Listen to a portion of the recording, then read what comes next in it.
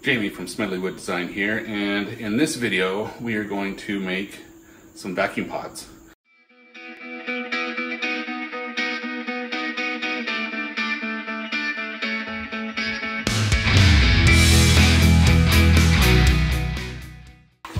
Alright, so in order to make these vacuum pods, I decided to create a prototype of one on the 3D printer. Um, I found uh, this saw a design similar to this on another video, um, but I like like this design. It works good. It uses a fast clip or a fast fast disconnect um, fitting, and I got some some quarter inch um, cord gasket that I'm going to use, and then I've got a vacuum pump that came from a um, friend, and uh, it seems to work pretty good. We'll see how it works with uh, four or five, maybe six pods. We'll see if it can carry that much suction between that amount of space. And then I'm going to use, actually cut these out, out of HDPE. Um, I've got some scrap here that I think I can uh, salvage. Just got to do a little surfacing on each side and then cut out the uh, cut out the shape and uh, do all the pocketing that needs to be done. Um, this may be good enough to use in production or in my application. So I'd have to print out five more of these. Um, but I'm going to try the HDPE and see how that works. Um, that'll be my first actual cutout on this job other than cutting the spoil board. So uh, let's get started. So my first step is to surface both sides. I want to make it the same thickness as the 3D printed ones so I can mix them together uh, just to see how it works out. The corner uh, blocks right there and the clamps come from PwnCNC. I'll put a link in the description below on where to find those.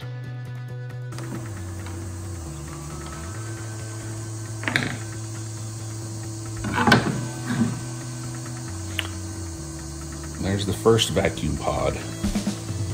I got tabs in here that I used. I just need to uh, cut those off, clean it up, and then I need to drill the hole for the uh, um, quick connect air hose. So I was pretty close to the end of cutting out this one. It was on the last pass when all of a sudden something hung up and it started jumping and uh, well, I didn't stop it fast enough and it ruined that one as well. So uh, that piece of HDPE is ruined. Bummer. I have two cut out that work awesome. And then I also have two more right here that uh, I had to fill in with some Bondo. I hope the Bondo sticks. Um, so those work out good. We'll uh, get those cleaned up and make sure they work.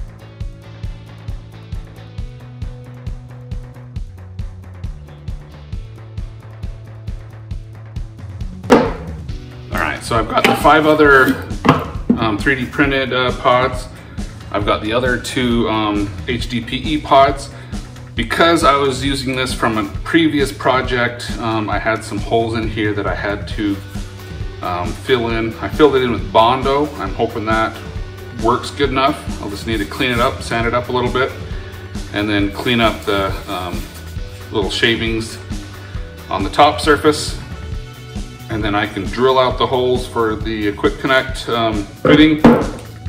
Got to pull out the support material in these, tap all the holes, and then put in the fitting and uh, we should be able to test it out on six pods on one vacuum pump.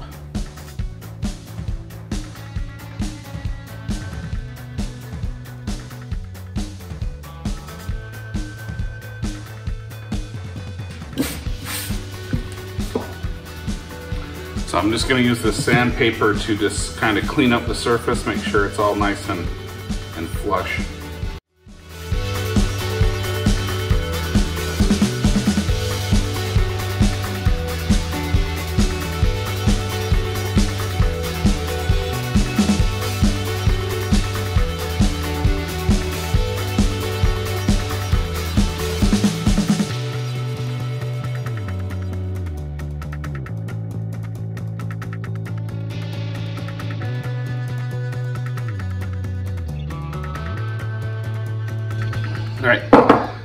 The 3D prints ready to be threaded with the tap.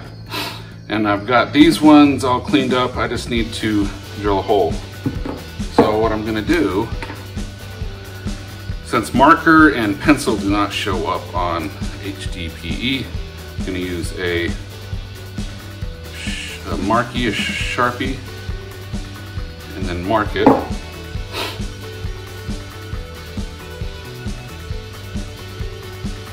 So. Now that I got it marked, I'm gonna use a, something sharp and a straight edge. I'm gonna go from corner to corner to get my center mark.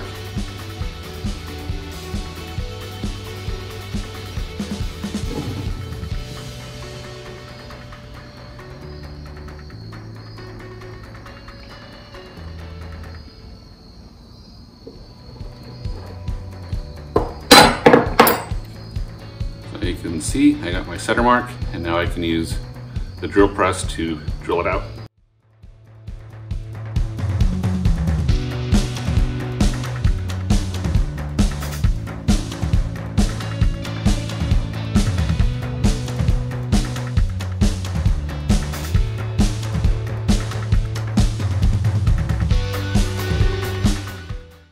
All right, now I need to drill quarter inch hole through there so it ends up right at that pocket there. So that's where my airflow will come from.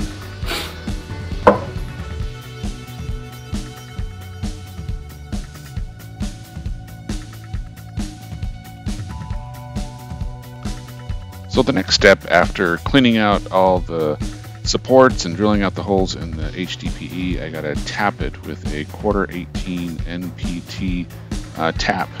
Um, found these at Harbor Freight. Um, not too bad in price. Um, that's the size of the fitting that I have for the Air Quick Connects.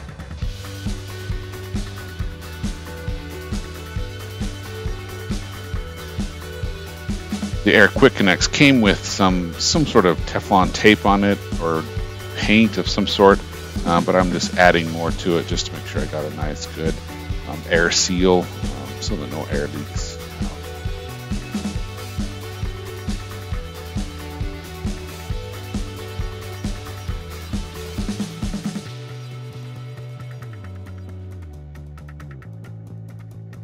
All right, the next step is to cut all the uh, foam um, gasket material to length. Uh, just a quick measurement and marking on the board makes a quick work of this. And then just adding all the gasket to the um, pods.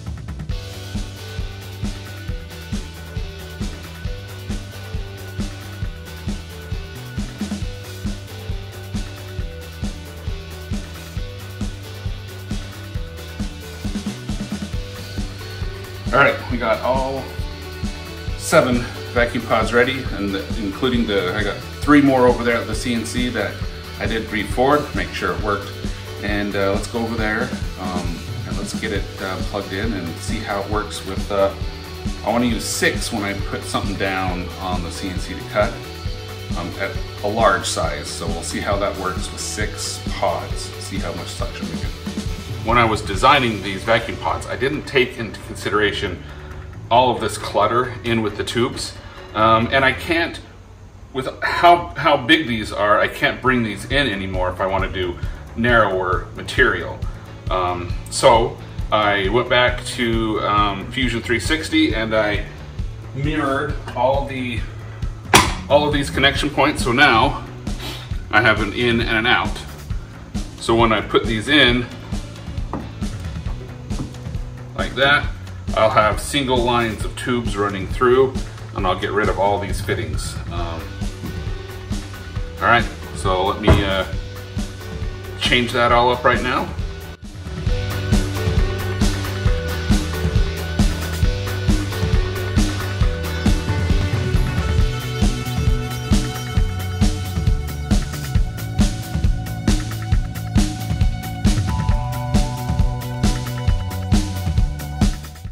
All right, I've got the splitter on. I've got the pods all ready to go. I've got the line ran to the pump. I'm ready to turn it on. Make sure everything's solid. Got a piece of material here.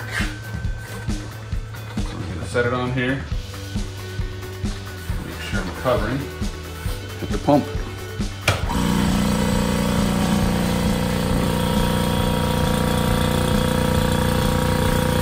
Don't hear any leaks. That is solid. That is not going anywhere. Awesome. All right.